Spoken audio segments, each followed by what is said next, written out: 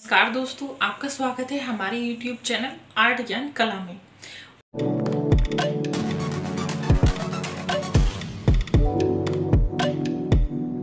और आज हम आपको पढ़ाएँगे, हमने जैसा कि आपको बोला था, आज हम पढ़ाएँगे जोगी मारा गुफा, जो बहुत ही महत्वपूर्ण है। इससे प्रश्न पूछा ही जाता है। और यहाँ से आपने इसको ध्यान से पढ़ लिया तो आपको जो भी प्रश्न यहाँ से पूछा जाएगा, उतने नंबर तो आपके पक्के हैं। मतलब वो नंबर आपके यहाँ से फिर कहीं नहीं जाएँगे और ये ज़्यादा टिपिकल नहीं है, ज़्यादा हार्ड नहीं है, बहुत ही आसान है। बस आपको केयरफुली पढ़ने की ज़रूरत है। तो चलिए, आज हम आपको बताएँगे जोगी मारा गुफा। और साथ ही मैं आपको पढ़ाऊँगी इसके साथ साथ ही सीता बिंगड़ा की गुफा, क्योंकि जोगी मारा गुफा और सीता बिंगड़ा दोनों ही बहुत ही पास पास हैं। जैसे कि अजंता और एलोरा की गुफा एक दूसरे के समीप हैं पास पास हैं, ऐसे ही सीता बिंगड़ा और जोगी मारा की गुफा पास पास हैं। तो सबसे पहले मैं आपको पढ़ाऊँगी सीता बेंगड़ा और जोगी मारा, दोनों गुफाएँ आपको पढ़ाई जाएँगी। देखिए, सीता बेंगड़ा और जोगी मारा।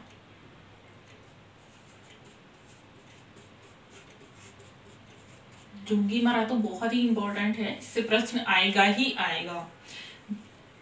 इसका जो समय है, वो है 300 ईसा और ये ध्यान रखेंगे, ये मौर्य कालीन है। कौन सी है? मौर्य कालीन देखिए, ये कौन से राज्य में है? छत्तीसगढ़ राज्य में। छत्तीसगढ़ राज्य है और जिला कौन सा है? सरगुजा। पहाड़ी है। रामगढ़ की पहाड़ी। कौन सी पहाड़ी है? रामगढ़ की पहाड़ी है। और ये दोनों गुफाएँ ही एक दूसरे के समीप हैं। देखिए, सीता बेंगड़ा जो गुफा थी, वो वो भी लघु आकार की थी, कैसी थी? बहुत ही छोटी थी। और जो जुगी मरा थी, वो भी लघु और संकरी। मतलब तो दोनों गुफाएँ ही छोटी गुफाएँ थी। तो सबसे पहले हम सीता बेंगड़ा गुफा को देख लेते हैं। सीता बेंगड़ा गुफा जो थी, वो कैसी थी? इसकी लंबाई क्या थी? तो चलिए इसकी लंबाई देखते हैं। इसकी माप देखिए। सीता बेंगड़ा की जो माप थी, वो थी चौदह मीटर लंबी और पाँच मीटर चौड़ी एक पॉइंट आठ मीटर ऊँची। ठीक है? ये सीता बिंगड़ा गुफा की लंबाई है मतलब माप है इसकी। चौदह मीटर लंबी, पाँच मीटर चौड़ी और एक पॉइंट आठ मीटर ऊँची है। दोस्तों, यहाँ पर एक नाट्यशाला थी। सीता बेंगड़ा गुफा में एक नाट्यशाला थी, जिसको प्रेक्षागृह भी कहा जाता है और आज की लैंग्वेज में इंग्लिश में इसको बोला जाता है थिएटर तो उसमें क्या होता था? और ये जो नाट्यशाला है, थी, ये भारत की ही नहीं, अपितु पूरे एशिया की भी नाट्यशाला थी। यहाँ पर यशोवर्मन काल में भरभूत द्वारा रचित उत्तर रामचरित मानस का मंचन यहाँ पर होता था। तो ये एशिया की भी नाट्यशाला कहलाती थी। यहाँ पर किसका मंचन होता था? उत्तर रामचरित का भरत द्वारा रचित, यशोवर्मन काल में उत्तर रामचरित का यहाँ पर मंचन होता था। और इसी के पास कौन सी गुफा है? इसी के पास जोगी मारा गुफा है। अब जोगी मारा गुफा देखिए। जोगी मारा की गुफा कहाँ है? छत्तीसगढ़ में सरगुजा का ज़िले में रामगढ़ की पहाड़ी पर जोगी मारा गुफा वहीं पर स्थित है। अब देखिए। जोगी मारा की माप देखिए। ये हो गई सीता बेंगड़ा की माप। मैं यहाँ पर जोगी मारा की माप लिख रही हूँ। दोनों को मिक्स नहीं करेंगे। ध्यान देंगे। मैं यहाँ पर जोगी मारा की गुफा जोगी मारा गुफा की माप लिख रही हूँ। तो जोगी मारा गुफा की जो चौड़ाई है, वो है दस फीट दस फीट इसकी चौड़ाई है। छ फीट लंबाई। और छह फीट चौड़ाई है। देखिए, जोगी महरा गुफा भी कितनी छोटी और संकरी थी। ये कैसी थी? छोटी और संकरी थी। मतलब ये इतनी छोटी और लघु मतलब इतनी संकरी थी कि इसको कोई भी व्यक्ति छत, इसकी छत को आराम से छू सकता था। इसी वजह से इसके चित्र नष्ट हो गए हैं। अब आप सोचेंगे, छत को छूने से चित्र नष्ट करने का क्या मतलब है? तो दोस्तों, इसके जो चित्र बने हैं, वो बने ही छत पर हैं। और भित्ति चित्रों की जो शुरुआत हुई है, वो जोगी महाराज से हुई है। ये प्रश्न पूछा जाता है, याद रखेंगे कि भित्ति चित्रों की शुरुआत कहाँ से हुई है। तो आंसर में जोगी महाराज को टिक करेंगे। भित्ति चित्रों की जो शुरुआत हुई है, वो जोगी महाराज के चित्रों से हुई है। भित्ति जो चित्र बनी है, वो जोगी मरा गुफा में मिलते हैं। ये भी पूछा जा सकता है कि भित्ति चित्र कहाँ पर मिलते हैं। अगर उसमें अजंता नहीं है जो जोगी मरा है तो आप जोगी मरा पे टिक करेंगे और मोस्टली अजंता नहीं देगा, जोगी मरा देगा आपको। तो भित्ति चित्र कहाँ पर मिले हैं? जोगी मरा गुफा में भित्ति चित्र हमें प्राप्त होते हैं। ये चीज़ ध्यान रखेंगे। जोगी मरा में किस चीज़ के चित्र हमें प्राप्त होते हैं? भित्ति चित्र प्राप्त होते हैं। जोगी मरा गुफा में दोस्तों एक कहानी है। वो कहानी हम आपको आज नहीं बताएँगे, क्योंकि वो थोड़ी सी इंटरेस्टिंग भी है आज मैं आपको सीता बेंगड़ा भी पढ़ा रही हूँ, इसलिए कहानी नहीं बताऊँगी, क्योंकि जोगी मरा इतना छोटा टॉपिक नहीं है। ये एक दिन में कंप्लीट नहीं होगा। ये मैं आपको कल भी पढ़ाऊँगी। इसके कुछ चित्र खंडों में हैं, सात खंड हैं, वो कल बताऊँगी मैं। इसके चित्रों की विशेषताएँ भी और इसके चित्रों के बारे में।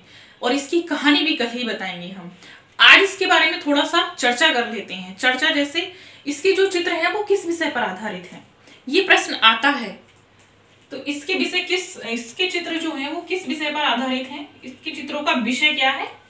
जैन धर्म। जोगी मरा के चित्रों का विषय क्या है? जैन धर्म। जोगी मरा के चित्रों का विषय क्या नहीं है? ये भी पूछा जा सकता है। जोगी मरा के चित्रों का विषय क्या नहीं है? देखिए क्या नहीं है। विषय नहीं है। नारियल के नारियल के पेड़ के साथ। देखिए, इसके विषय में देखिए, नारियल के पेड़ के साथ प्राकृतिक दृश्य। प्राकृतिक दृश्य इसके चित्रों में नहीं है। सॉरी विषय में नहीं, इसके चित्रों का जो विषय है, चित्रों का विषय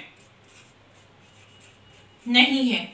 इसके चित्रों का जो विषय नहीं है, वो नारियल पेड़ के साथ प्राकृतिक दृश्य नहीं मिलेगा। क्योंकि आप जो आगे पढ़ोगे जैसे ये जो गुफाएँ पढ़ोगे आप आगे, उसमें जब आपको पढ़ने को मिलेगा, उसमें नारियल के पेड़ प्राकृतिक दृश्य मिलेंगे। लेकिन जोगी बारा के चित्रों में ऐसा आपको दृश्य नहीं मिलेगा।